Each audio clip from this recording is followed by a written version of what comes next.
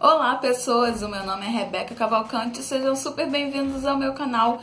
E hoje tem super ultra mega lançamento da Mandy por aqui, a nova linha Amende Botanic Beauty, lançamento assim fresquinho para vocês fresquíssimo. E essa linha vem com uma proposta super diferente em relação aos outros produtos da Amende. Então, se você quer saber, já vai deixando o like aí, já vai se inscrevendo no canal, ativando o sininho e vamos lá conferir esses dois produtinhos novos da Amende. E essa linha vem com uma proposta super legal, porque é uma linha que é 94% de origem natural. Sem contar que as embalagens, elas são biodegradáveis.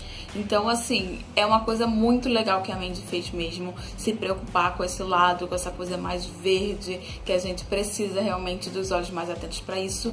Principalmente porque eu vou contar uma coisa legal da embalagem aqui pra vocês, mas eu vou ler porque é bastante informação. O legal, gente, é que as embalagens são recicláveis. E eles dizem que tem uma produção com PE verde de cana-de-açúcar, mais um aditivo que ele é oxibiodegradável, que acaba acelerando a biodegradação do plástico e reduz de 450 anos, gente, para 8 anos o potencial de biodegradação dessas embalagens. Essas linhas, elas são entre 91% a 97% as fórmulas de todos os produtos da linha naturais. Então eles estão bem com essa pegada verde. É uma linha liberada para no pool, é uma linha vegana. Então ela veio com essa proposta natural que a gente adora. E sem contar, gente, que no pool, né, eu fiquei bem chocada com a linha ter bastante produtos no pool. Se não me engano, os shampoos, eles são low pool, mas o restante é no pool. E eu fiquei impressionadíssima com essa proposta, com essa ideia da Mandy. Vocês já sabem, né, gente? Eu pensei, nossa, lançamento da Mandy, eu já fico empolgada. E aí, um de vocês me mandou no Instagram que era um lançamento no pool eu fiquei mais empolgada ainda, gente. Eu falei, preciso, preciso ver esse lançamento com os meus próprios olhos e conferir se isso é no pool e preciso trazer pro canal. E além de toda essa proposta reciclável que é super, super legal, vegana, no pool, também vou falar pra vocês da proposta de cada máscara. Mas, gente, olha essa embalagem. Isso aqui é reciclável. Só isso que eu tenho pra dizer, tá? Essa aqui, a máscara verdinha, ela tem uma proposta de trazer força e resistência pros fios. Então, ela é uma máscara mais voltada aí pra fios que estão quebradiços e fracos. Já a versão branquinha, ela promete trazer de volta a hidratação, a maciez e o brilho do cabelo, então ela é indicada para cabelos que estão ressecados e opacos. Quando eu vi essas embalagens na loja, gente, quase surtei, porque elas são muito bonitas, muito bonitas, elas chamam muito a atenção. Foi a primeira coisa assim que eu olhei, eu falei, cara, que coisa perfeita.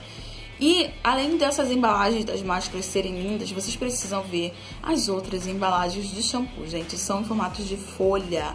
Vocês não fazem ideia, são muito, muito lindos mesmo. E, gente, quando a gente para pra pensar, as embalagens ainda são recicláveis, né? Então, além de bonitas, são recicláveis e são perfeitas para o meio ambiente, porque diminui muito o tempo de biodegradação também. Então, é bem legal mesmo toda essa proposta da mente com as embalagens.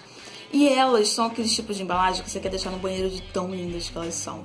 Eu acho que a Mandy tem arrebentado demais se tratando de embalagem. Na composição da máscara verdinha, a gente vai encontrar os principais ativos que são o óleo de monói, que é um óleo mais nutritivo, o extrato de alecrim e gengibre, que são ótimos antioxidantes, e os derivados de alfarroba, que são umectantes, então eles vão ajudar a manter a água no cabelo. Só que a gente também encontra outros ativos nessa máscara. A gente encontra o óleo de coco como um agente nutritivo, a proteína da soja hidrolisada, que é um agente super reconstrutor, e o amido de milho e extrato de flor de tiaré como agentes hidratantes. Já na composição da máscara branquinha, a gente encontra o óleo de moringa, que é super nutritivo e vai ajudar a criar um filme protegendo o cabelo, o extrato de jasmim, que também é um antioxidante e também ajuda a reter a água no cabelo, e os açúcares de raízes, que eles vão ajudar a reter água no fio e vão devolver elasticidade. E esses são os ativos principais dela. Na composição a gente não encontra outros ativos, eu acho que é uma composição mais voltada mesmo para a concentração desses ativos principais que a marca propôs. Vamos lá começar aplicando a verdinha. Vou aplicando, vocês já sabem que eu vou começar falando de cheiro, né, porque é um vício. Ela tem o cheiro de capim-limão, sabe? É o cheiro meio de mato, mas também é bem cítrico. Só que o cheiro dela é perfumado, então não é uma coisa assim só capim e limão, só, sabe? Eu sinto um perfume, um aroma assim mais de fragrância mesmo. A consistência dela é de pasta mesmo, ó. Não cai do pote de jeito nenhum. E aí quando eu vou pegando, ela vai caindo devagar. E, gente, olha isso. Olha essa consistência. Ela é uma pasta, como se fosse uma pastinha, mas é bem cremosa, bem deslizenta, sabe? Uma nova palavra inventando aqui, gente, deslizenta. A marca fala para tirar o excesso de água do fio e eu já tirei. E olha, gente, essa quantidade já deu para essa metade toda do meu cabelo. Espalhou bem fácil. E agora o cheiro do, do capim-limão, sabe? O cheiro de limão tá subindo mais. Quando você espalha, ela fica bem com essa coisa meio cremosa. Assim que eu aplico, eu sinto que ela dá uma molhência pro meu cabelo. Não é uma super desmaiada no fio na aplicação, mas só de encostar no meu cabelo, eu já sinto que meu cabelo dá uma amolecida. E agora eu vou enluvar com vocês.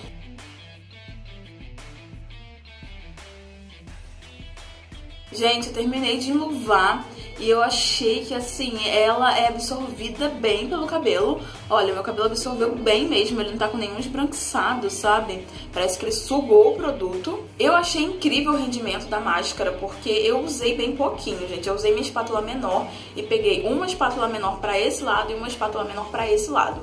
Então, eu achei que rendeu bastante, ele espalhou super pelo meu cabelo. Eu acho que ela funcionou melhor aplicando no cabelo úmido mais pra molhado. Eu só tirei realmente o excesso de água no meu cabelo, então meu cabelo ainda tava bem úmido. E ela funcionou melhor porque vocês viram, gente, ela tem uma consistência bem pastosa, ela tem uma consistência densa. Não é assim super, super grossa, mas é uma coisa como se fosse uma pasta que quando você vai espalhando ela fica mais cremosa. Eu gostei bastante dessa consistência, não vou mentir pra vocês, e acredito que ela é super culpada na questão do rendimento da máscara. Agora eu vou deixar a máscara agindo por 3 minutinhos, como sempre, a Mandy é incrível pra isso. O tempo de ação das máscaras sempre 3 minutinhos, que eu adoro, que é aquele tipo de máscara potente que você consegue usar no banho. Então agora vocês já vão ver o resultado. E ela me deu, gente, um resultado de reconstrução. E é uma reconstrução potente. Eu consegui sentir o meu cabelo muito mais encorpado, os fios ficaram mais grossos mesmo, sabe? E me deu uma sensação de mais volume. Ficou muito brilhoso e super selado e o cabelo ficou bem alinhadinho. Agora a gente vai fazer a aplicação da versão branca, que é a que é para cabelos ressecados e opacos. O cheiro dela é um pouquinho mais gostosinho do que o outro. Acho que o outro tem uma coisa mais de limpeza, sabe? Uma coisa mais planta presente. E esse aqui não, esse daqui ele é perfumado, ele é um pouquinho adocicado bem lá no fundo só, mas ele tem um pouquinho de cheiro amadeirado também presente. Eu achei o cheiro bem agradável, o amadeirado não é forte, nem o doce é forte, eu achei ele super equilibrado. Mas eu vou falar pra vocês que a diferença principal é nessa consistência. Olha isso, gente completamente diferente da outra. É uma consistência muito mais fluida, mas ela é extremamente lisinha. Ela não é um fluida que vai caindo do pote, tá? Mas mesmo assim, ela é como se fosse uma manteiga, assim, uma margarina, sabe? Ó, ela é bem, bem lisinha mesmo. Eu já tô chocada pela diferença de consistência de uma pra outra, gente porque a outra, a verdinha, ela é bem grossa, como vocês viram, e essa daqui eu achei ela bem, bem lisinha, sabe? O meu cabelo tá úmido, eu só tirei o excesso de água, então ele ainda tá com a pontinha um pouco mais molhada. E o meu cabelo, gente, essa daqui já é outra, ó.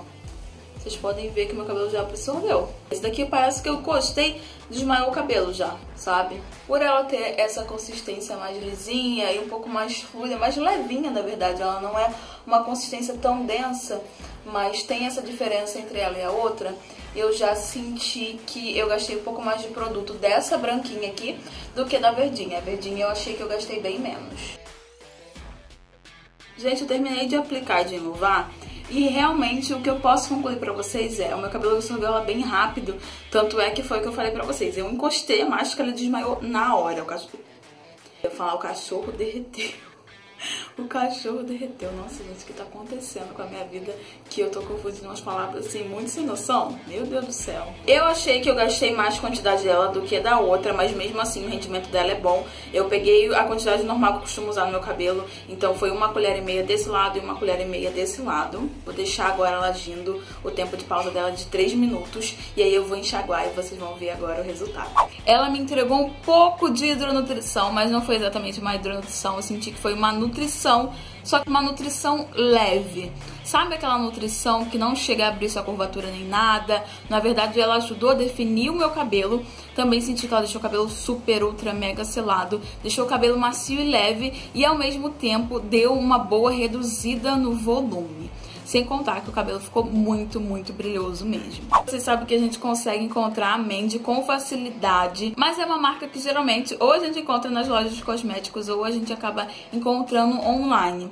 O preço delas é um pouquinho mais salgado, como eu sempre falo pra vocês de Mandy, é em torno dos 40 reais. Eu falei em alguma vez aí que pra Mandy ser perfeita só faltava ser liberada pra No Pool, que as máscaras eram low pool, mas faziam um tratamento super legal e que eu gosto bastante de tratamentos no pool, porque eu não sinto tanta necessidade de ficar sempre usando shampoo low pool, né? Então, parece que a Mandy, tipo, que ouviu o que eu tava falando, sabe? Porque além de trazer um tratamento todo no cu, ainda trouxe um tratamento que é vegano e ainda assim ainda trouxe um tratamento que é todo natural, que é muito legal, sem contar as embalagens recicláveis. Toda essa proposta bem verde, que é uma coisa muito importante que a gente precisa sim se atentar a isso, porque o nosso ambiente também sofre muito com as embalagens e com as coisas que a gente descarta. Então, assim, a Mandy pensou nisso tudo e trouxe uma linha com essa proposta e eu simplesmente amei. Eu amei que a Mandy me ouviu, eu amei os produtos, eu amei os resultados, eu gostei bastante mesmo, gente. Vocês sabem que eu não tenho por que mentir pra vocês aqui e a realidade é que eu fiquei encantada com os dois resultados. Então, assim, eles conseguiram manter a qualidade de produtos deles, porque eu achei que toda essa linha é bem parecida com a, a Mandy Milenar, sabe? Então, toda aquela, aquela qualidade que eles entregaram naqueles produtos da Mandy Milenar eles também trouxeram nessa, eles conseguiram deixar os produtos no pool, conseguiram trazer propostas bem relevantes para essa linha. Eu achei que a aplicação é super fácil, que tem um tempo de pausa muito bom, que é um tempo daqueles rapidinhos que a mente sempre coloca, e nesse tempo de pausa ela sempre consegue cumprir o que ela promete. As máscaras cumpriram tudo que elas prometeram também, todas as propostas. Outra coisa que eu achei muito legal foram as propostas dos produtos, que são realmente demandas que a gente vê que sempre aparecem, que é cabelo danificado cabelo ressecado. Então eu gostei bastante deles se preocuparem com isso trazerem essas duas propostas nas máscaras da linha. Eu queria deixar bem claro aqui que isso daqui poderia ser público, porque eu tô falando isso tudo tá parecendo que eu tô pintando uma coisa linda, maravilhosa da Mandy, mas isso não é público, gente. Poderia. Poderia ser sim, tá, Mandy? Mas não é. E com isso eu quero dizer pra vocês que eu sou realmente fã da Mandy. Eu já era fã porque eu sempre usei produtos da marca. E agora eu sou mais fã ainda porque nós temos produtos da marca liberados pra NoPool. Super naturais, veganos e recicláveis. Então, assim, Gente, para tudo. A Mandy levou meu coração. Os produtos da Mandy entregam qualidades incríveis e acaba valendo a pena investir nesses produtos da marca. E esse foi o vídeo de hoje, gente, mas eu vou contar um negócio pra vocês aqui. Não vou mentir pra vocês, eu não sei qual das duas eu gosto mais, cada uma tem sua proposta e elas são bem diferentes e eu gostei muito do resultado das duas. Mas eu quero saber de vocês.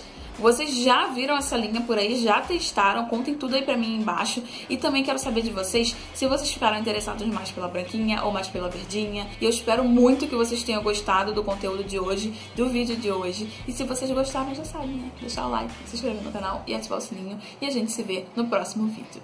Tchau, tchau!